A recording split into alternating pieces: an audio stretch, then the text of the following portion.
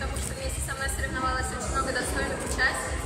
И то, что я выиграю, я считаю, это в большей степени, точнее, в достаточно большой степени, это заслуга моих друзей, которые меня во всем поддерживают.